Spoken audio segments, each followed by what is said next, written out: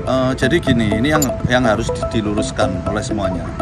Marcel itu adalah milik Persebaya, bukan punya STY, bukan punya timnas atau punya PSSI. Dia itu miliknya Persebaya. Jadi ketika dia mau uh, di luar negeri, hubungannya klub dengan klub, tidak ada urusan dengan STY atau siapa pun. Kalau Marcel uh, dia tidak izin tidak mendapatkan izin dari Persebaya dia nggak akan bisa berangkat ke Belgia.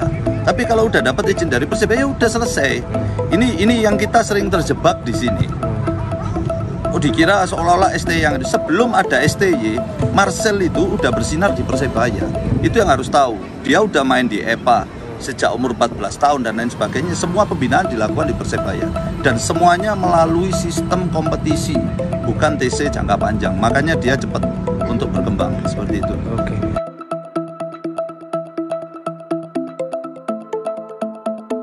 Nah, kalau kami gini, jadi terus terang, kami TC jangka panjang ini harus dievaluasi total.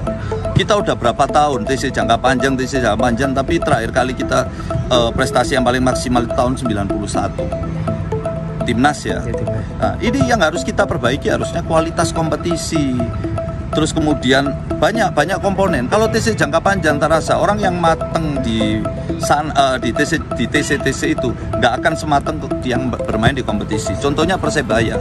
Kenapa di Persebaya banyak pemain muda bisa cepat naik? Ya karena teman apa pemain-pemain Persebaya, pemain-pemain muda Persebaya ini digemblengnya di kompetisi internal. Yep. Yang itu banyak nggak di klub lain nggak ada, mungkin seperti itu.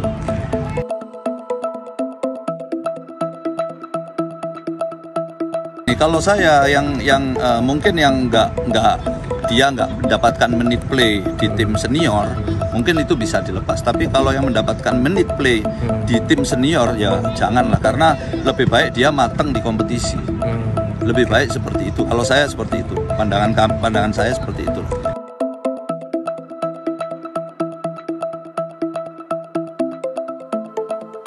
Menurut saya gini menurut saya itu tanggapan yang salah justru cara-cara pembodohan-pembodohan TC jangka panjang ini ini yang harus diberantas. Kenapa? Ayo ketemu dengan klub, diskusi. Sintayong saya yakin juga tahu kok fungsinya TC jangka panjang itu nggak efektif. Nggak ada matang di TC itu jarang. Di seluruh dunia tidak pernah ada uh, apa sudah di, sudah cara itu sudah ditinggalkan dan sekali lagi itu melanggar uh, ada namanya uh, masalah pemanggilan pemain di FIFA. Okay.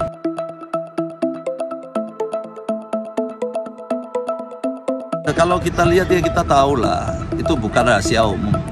Ya selama ini kan Sintayong cuman uh, sibuk dengan TC-TC-nya aja harusnya Mourinho itu Mourinho saya pernah baca tuh Mourinho itu ketika dia ditawari timnas Portugal ya dia mengatakan e, saya masih ingin ngelatih tiap hari makanya dia ada di klub hmm. kalau kamu mau ngelatih tiap hari itu kamu jadi pelatih klub jangan jadi pelatih timnas hmm. kalau pelatih timnas itu kamu scouting kemudian kamu latih raciannya seperti apa hmm. kamu gabung orang yang udah matang di kompetisi hmm. mungkin itu yang paling baik Hello Bonek and Monita, you can follow Kabar Bonek Persebaya.